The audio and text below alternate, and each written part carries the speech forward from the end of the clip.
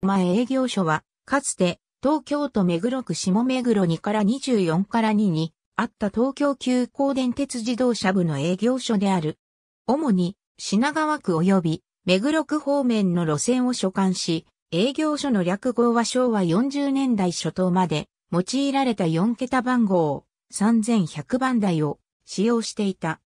不動前営業所の起源となったのは1929年に運行を開始した東横乗り合いの路線である。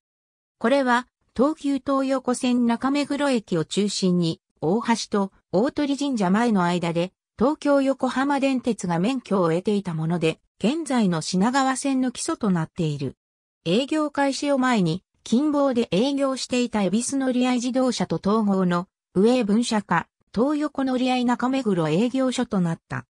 東急バス級、東京横浜電鉄のバス事業も、参照1936年頃の東横乗り合い路線この頃の恵比寿乗り合いは、現在の都営バス電87系統となる恵比寿駅田町駅間の路線が主力であったが、これは恵比寿営業所という別組織に引き継がれ、中目黒とは直接の関係はなかった。詳細は、都営バス、渋谷営業所電87系統を、参照1936年、東横乗り合いは、東横電鉄本体に吸収合併される。中目黒営業所、恵比寿営業所ともに、東横電鉄の拠点としてそのままの体制を維持した。1940年7月9日、中目黒営業所は東横メカマ線不動前駅近くに移転し、不動前営業所と解消。1942年2月1日、陸上交通事業調整法による営業エリア調整の煽りを受け、恵比寿田町間や恵比寿駅、有栖川の宮公園など山手線内の路線を東京市電気局に譲渡せざるを得なくなった。これにより恵比寿営業所の担当路線は壊滅、不動前営業所に実質統合、廃止となった。詳細は東急バス東洋湖、メカマの合併から大東急へ及び、都営バス戦前を三省太平洋戦争終結の時点で、品川区役所線は渋谷駅から東急品川線、南馬場駅近くにあった区役所級庁舎までを結んでいた。山手通りに沿って国鉄山手線と並行する幹線であることから比較的早くに復旧、運行を再開する。1947年6月25日、東急初の都営共感路線として駒沢線が誕生。不動前が担当となる。1952年、旧東横乗り合い時代の宿山、祐天寺方面の路線を基礎にした野沢線と仙族線が開業。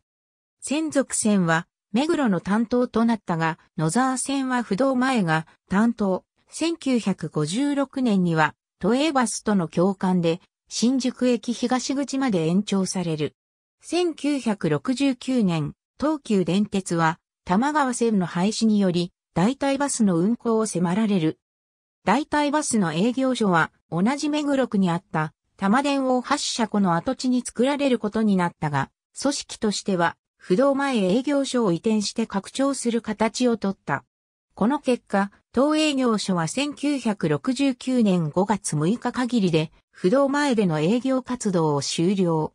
翌日の5月7日から大橋営業所に生まれ変わった。詳細は東急バス大橋営業所遠隔及び東急玉川線玉電廃止後のバス交通を参照この時、東横乗り合い以来一貫して不動前が担当してきた品川区役所線と戦後に新設された野沢線と大橋線、そして目黒から一時移管されていた清水線が大橋へ移管された。清水線は移管をしばらくして本来の担当となるべき目黒営業所に戻され、大橋線も短縮の上、駒沢営業所、さらに鶴巻営業所へと渡っていき、不動前時代の面影を残すのは品川線だけとなった。不動前営業所が大橋に移転して廃止される頃、東名高速道路の開通に合わせて、東京名古屋間の高速バスを運行しようという機運が盛り上がる。国鉄が真っ先に参入を表明するが、私鉄、民間バスもこれに対抗、東急など12社の共同出資による東名急行バスが設立された。東名ハイウェイバス遠隔及び東名急行バス歴史も参照不動前営業所の用地は東名急行バス東京営業所に転用され、渋谷駅を発着する高速バスの拠点に変わった。しかし、乗客が伸びず1975年3月31日、限りで営業を終了する。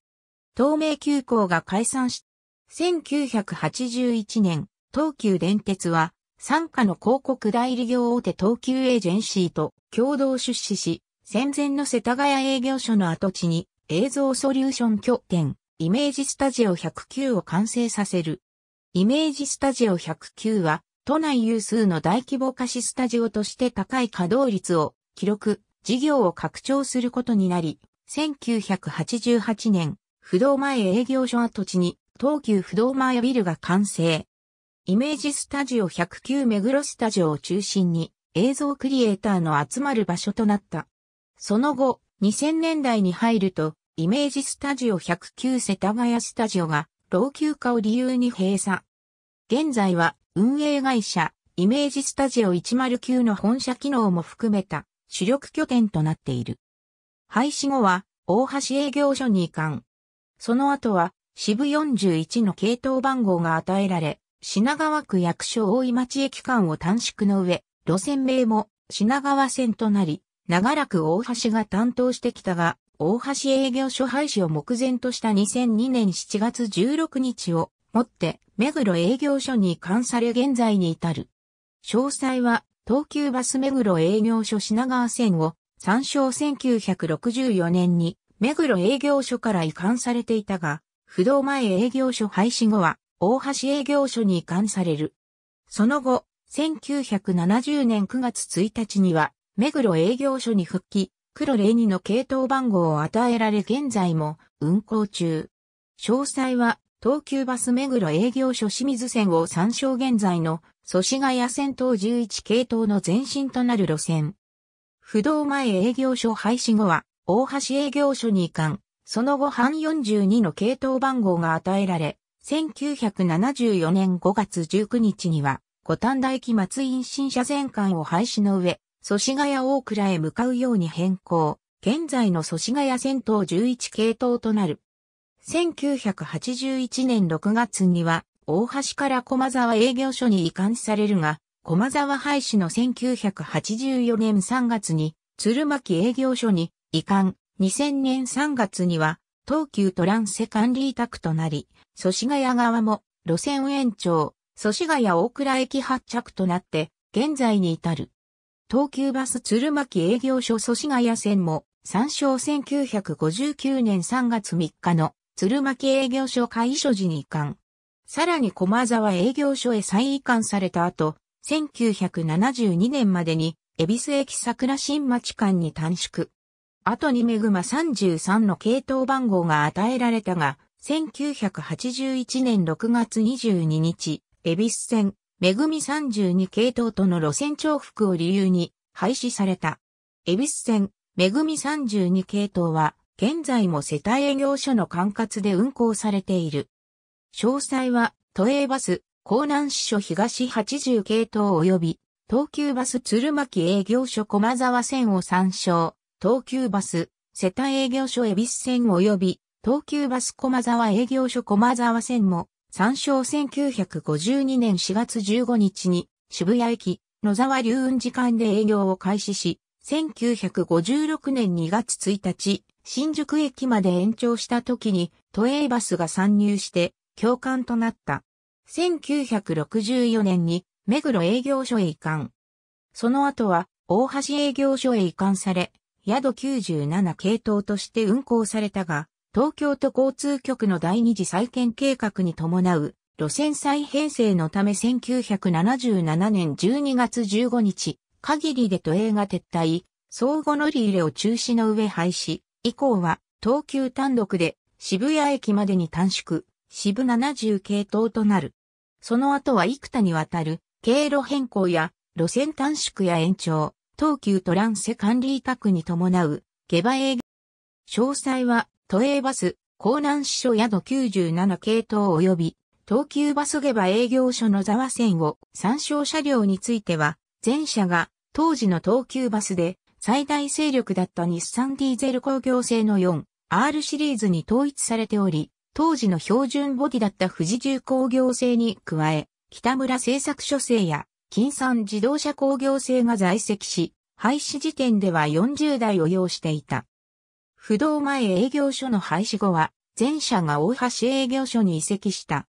日産ディーゼル R、RA 及び UD トラックス遠隔も参照。ありがとうございます。